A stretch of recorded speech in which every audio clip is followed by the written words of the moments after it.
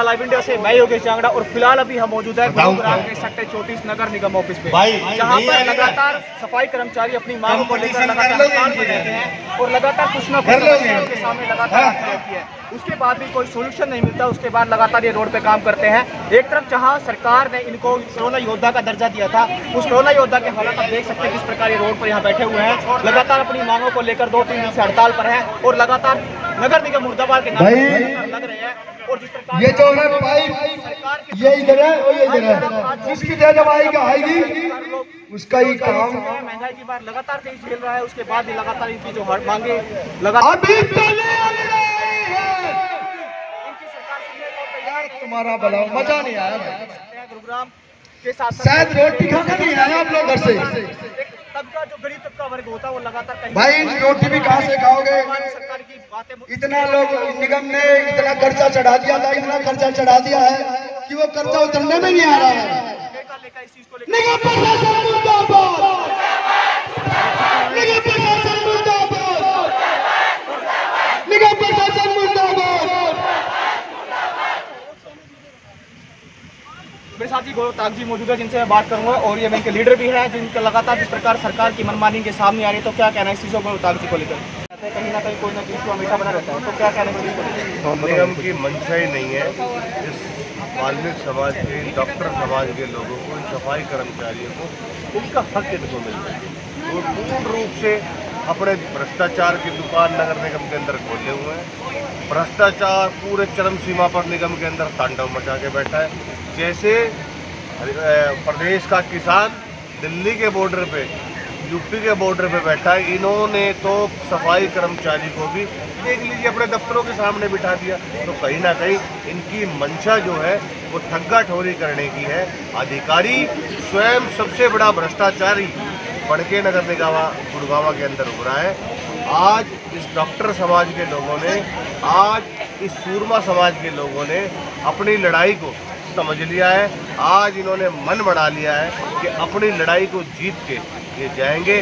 उससे पहले आज सैंतीस दिन का समय हो गया। मैं आपको बता दूँ, सैंतीस दिन से जो ये लोग लड़ाई लड़ रहे हैं तो मान के चलना इनका पूरा विचार है सरकार को, प्रदेश के प्रशासन को, निगम के अधिकारियों को, भ्रष्टाचारी और चोर ठेकेदारों को यहाँ से उखाड़ के फेंक देने का। जो लोग आप इनको देख रहे हो छः छः महीने से सैलरी जिन लोगों की नहीं आई थी उस सैलरी को हमने अधिकारियों पे बोल के उसको डलवाने का भी काम किया। आज उसके साथ फिर दोबारा जाति की जा रही है। प्रशासन इतना ज़्यादा भ्रष्ट हो गया है कि उनकी सैलरी को उनकी मर्ज़ी के बिना दोबारा निकाल लिया। तो ये सैलरी जो आप निकालने की बात कर रहे हैं किसने सैलरी निकाली और कहाँ से कितने लोगों की निकाली गई? भैया वो तो जाँच का काम निगम का है ना। हमारा काम नहीं है ना कर्मचारी का काम नहीं है। वो तो निगम जाँच कराए कि ठेकेदार इन लोगों की सैलरी कैसे निकाल रहा है।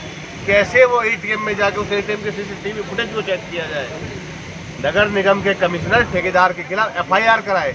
पर ये कराएँगे नहीं, क्योंकि इनकी मंशा नहीं है। क्योंकि वही वाली बात है ना अब जो पैसा इनके पास आना था, वो अब कर्मचारियों के अकाउंटों में चला गया। तो ये थोड़ा सा इनका ना सोच का विषय, बड़ा पीड़ा का विषय है। इस पीड़ा पे हमें गौर करना चाहिए। कमिश्नर साहब को तुरंत प्रभाव से एक्शन में आना चाहिए, पर मुझे लगता नहीं है, क्योंकि पिछले सैंतीस दिनों से जब वो होश में नहीं आए तो शायद अब भी वो उठेंगे। नहीं, सोए पड़े हैं। पता नहीं क्या उनकी मंशा है, क्या वो सोच रहे हैं। या तो मेरे को ऐसा लगता है कि शायद वो डायरेक्ट आई ना होके प्रमोटेड है तो कोई है मतलब डिसीज़न लेने की मतलब सिचुएशन में नहीं है।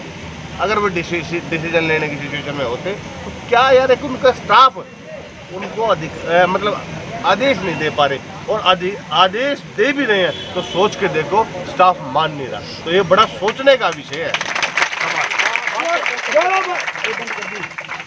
सबसे पहले बात करता हूँ जहाँ भाजपा सरकार ने सफ़ाई कर्मचारियों सब लॉकडाउन था लगातार सफ़ाई कर्मचारी बिना सफ़ाई के काम किया था। कोरोना योद्धा का इनको दर्जा दिया गया था फिर भी इस हालात में मौजूद थे भाजपा सरकार ने झूठ बोलने की कंपनी लगा रखी।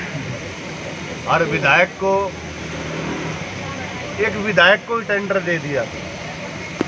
जबकि इस पवित्र ग्रंथ के अंदर साफ़ साफ़ लिखा है कि आप किसी राजनीतिक पार्टी में या विधायक को या किसी उस अधिकारी को टेंडर दे दीजिए, फिर भी दे दिया। खूब नाम उछाड़ा आपके मीडिया ने उछाड़ा राकेश दौड़ताबाद का पर उसके बावजूद भी क्या हुआ? कुछ नहीं हुआ, सारा मामला शांत कर दिया। भाजपा सरकार झूठ की गठड़ी बांधने वाली पार्टी है। लोगों को गुमराह करने वाली पार्टी है। हाँ अगर ये अडानी के लोग होते तो शायद इनको पी पीएफ पीएफ नहीं इनको अमेरिका की सैलरी मिलती, डॉलरों में सैलरी मिलती। पर आज इन सफ़ाई कर्मचारियों की पीड़ा देखी इनकी मंशा नहीं है। बीजेपी की सरकार फ्लोप हो चुकी है, और ये जो सफ़ाई कर्मचारी है, डॉक्टर समाज के लोग जो बैठे हैं, ये सरकार को भी और प्रशासन के इन अधिकारियों को भी उखाड़ के फेंकने का काम करेंगे। आने वाला जो चुनाव होगा बीजेपी के पक्ष में एक भी मतदान ये लोग नहीं करेंगे और बीजेपी पार्टी को प्रदेश से उखाड़ के फेंकने का काम करेंगे। बात करें और भी सबसे पहला मुद्दा यह है कि आपकी जो हम हमारा जो संगठन है चाहे वो वेद प्रकाश बागड़ी जी हो चाहे वो एस के शर्मा जी हो जो मेन लीड कर रहे हैं हमारे साथ हमारे साथ मिलके हमें दिशा दिखा रहे हैं निर्देश दे रहे हैं हमें रास्ता खोलने का हमारे आगे जाके काम कर रहे हैं। उन्होंने आदेश दिया कि लोगों के सामने खोल दो, उनकी समस्याएँ क्या है। पूरा पर्चा चिपका रखा आ जाए बात कर ले इन पे। कमिश्नर साहब नीचे आ जाए बात कर ले। क्या उनको मतलब इन लोगों के सामने आने से मतलब वो थोड़ा सा अपने आप को गिल्टी फील करते हैं क्या? ये लोग उनके लोग हैं। ये लोग उनके लिए प्रदेश को साफ़ करने का काम करते हैं। ये लोग उनके लिए गुड़गावा गुड़गावा के गली कुच्चे को साफ़ करने का काम करते हैं। पर आज शायद उन, इनके अंदर से उनको बदबू आ रही है और वो अपने महँगे परफ्यूम को इन लोगों के बीच में लगा के आना नहीं चाहते। इसीलिए आज वो अपने कमरे में बैठ के टेलीफोनिक माध्यम से हमसे संपर्क करने का काम कर रहे हैं। पर नीचे आते आना ऐसा लगता है जैसे गुणावली बहू के जैसे मेहंदी लग जाती है ना, शायद मेरे को तो ऐसा लग रहा है। कमिश्नर साहब उसी सिचुएशन में आज पहुँच गए हैं अ, ये पूरी दो तारीख की बात है ये बताया कि लगातार भाजपा सरकार के जो हालात बने हुए हैं, उसके बाद भी गुरुग्राम सरकार सुनने को तैयार नहीं है, निगम कमिश्नर मिलने तक को तैयार नहीं है। उसके साथ क्या इनके साथ होगा? लगातार सैंतीस दिन से हड़ताल पर बैठे हैं, लगातार सैलरी निकाली जा रही है, परंतु कोई रिस्पॉन्स नहीं है। उसके बाद भी हम और भी काफ़ी लोग मौजूद है जो मैं इनसे बात करूँगा, और ये अपने ताज के जो विचार थे वो सुने थे, अभी मेरे साथ और भी काफ़ी लोग मौजूद हैं जहाँ पर मैं लीड कर रहे हैं इस धरने को। मैं उनसे भी जानना चाहूँगा, उनका क्या कहना है और क्या क्या उनके बात तो सबसे पहले अपना नाम बताइए मेरा नाम एस के शर्मा है, मैं आर सोशल एक्टिविस्ट हूँ। सर लगातार सैंतीस दिन का धरना फिर भी नगर कर्मचारी के लगातार फिर भी क्या कहना नगर निगम के बारे में क्या बोले? तो बोलने का वर्ड्स नहीं करप्शन का डेन है ये। सैलरी के लिए पर्चे करना पड़ रहा है क्योंकि article twenty one of the constitution में राइट हैंड का फंडामेंटल राइट हैंड का। राइट की बात करें तो भारत सरकार दावे ठोकती कि किसी को कोई दिक्कत नहीं होगी कोरोना काल से लेकर टाइम निकल चुका पर भी अभी तक भी टाइम निकल कोई सैलरी नहीं कटेगी। लगातार लोगों की डेथ भी हुई है। कोई किसी की राइट नहीं है। जो राइट है हमारी अदानी के पास है। और किसी का राइट नहीं है। पैसे कमाने की तनख्वाह की राइट सब उन्हीं के पास है। हमारे पास कोई नहीं है। हम तो गरीब पूछे के आदमी हमारे क्या राइट क्या है? हम तो हम अपनी आवाज़ चिल्ला सकते बोल सकते हैं। पर और कुछ नहीं है हमारी राइट ये बताइए कि छः छः महीने की तनख्वाह नहीं मिल रही और ठेकेदार यहाँ बैठे और पैसा निकल रहा है। कि हम लोग देखेगा जाके कौन देखे ये देखेंगे। तो उसकी कंप्लेंट अभी तक आपने दी है किसी को? दे रखी है। मैंने एडिशनल कमिश्नर जसप्रीत कौर की एफआईआर कराने की कंप्लेंट कर रखी है मैंने। साहब को भी दे रखे और अभी देने जा रहे हैं उनको साहब को भी।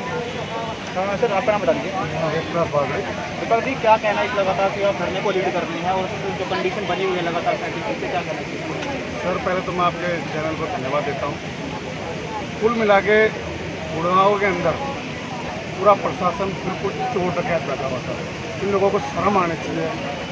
कोरोना टाइम में इन लोगों ने पाँच पाँच बजे उठ के अपने बच्चों को छोड़ के जो रोड पे सफ़ाई करी है इनको धूम मच जाना चाहिए, इनकी जो सैली लिखा रही है, फुल तो ये मक्खन ब्रेड खाते अरे इनको तुम सूखी रोटी दे तो हम बहुत बहुत धन्यवाद करेंगे आप लोगों का। इन लोगों घर में राशन डाल दो, इन्होंने क्या कसूर कर दिया? ये पाकिस्तानी है क्या? ये चीनी है क्या? ये ये देश के नागरिक है ये। इनकी बगैर देश नहीं चल सकता। देश तभी चलता है जब ये बाल्मी समाज उठ के जब सफ़ाई करते ना, तब आगे देश चलता है।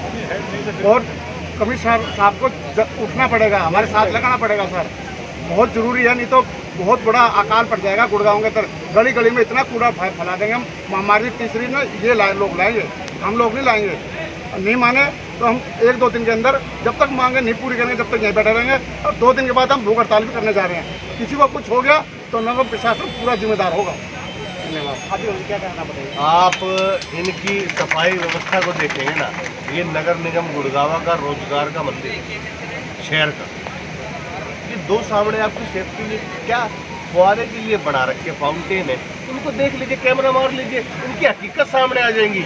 ये लोग अपने घर को साफ़ नहीं करना चाहते। ये लोग अपने लोगों को तो क्या रोज़गार देंगे, इनको क्या तनख्वाहें देंगे? इनके सामने सब कुछ हो रहा है, फिर भी आँख मुँह रखी है इन्होंने। तो आप सोच के चलो, इनकी मंशा है क्या? लोगों सामने अगर नहीं हुआ तो अनिश्चितकालीन धरना पूरे रूप से देंगे। एक एक साथी पूरी अपनी ताकत लगा के नई ऊर्जा के साथ इस धरने को ज़िंदा रखेगा। दिन रात हम इस धरने को देने का काम कर रहे हैं। दिन रात हम इस धरने को चालू कर रहे हैं। ऐसे ही चलता रहा। तो अगर हमें अपने समाज के लिए, अपने लोगों के लिए, अपने प्राणों की भी आहुति देनी पड़े तो ना तो हमारी महिला सेना पीछे हटेगी, ना तो हमारे युवा साथी पीछे हटेंगे। हमारा दो साल का बच्चा भी जो घर में होगा वो भी इस लड़ाई में पूछे हम इसीलिए कह रहे हैं कि प्रशासन आए बात करे अगर करना चाहे। और अंदाज चले तो हम तो बैठते ही हैं। उनके घर के आगे बैठे अंदर लेना तो ठीक है। तो भाई सारे बारे ने आगे तो भाई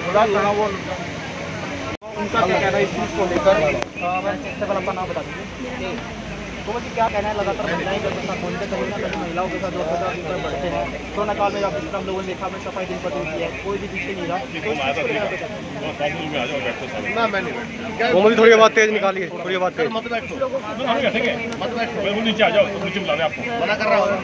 बोला मैं विष्णु बैठे वहाँ पे वहाँ देखा बोला आपने ज्ञापन देना कहा है? आपने ज्ञापन देना तो आ जाओ। तो ज्ञापन देना तो नीचे आ जाओ। हमने देना ज्ञापन ज्ञापन क्या कहते हैं ही। तो क्या कहना है? बारह कि पेड़ लगवा रहे हैं। ये मांगे लिख रही है पूरी ओके ये सुनी महिलाओं की बात थी जिन्होंने बता दिया कि अगर दो दिन में सोल्यूशन का समाधान नहीं मिलता है उसके बाद अनिश्चितकालीन का धरना जिस प्रकार महिला युवा, बुज़ुर्ग जिस प्रकार भी हो सकता अपना अनिश्चितकालीन धरना जारी रखेंगे। उसी के साथ बाकी लेटेस्ट खबरें जानने के लिए चैनल को सब्सक्राइब और बेल आइकन को प्रेस करना ना भूलें।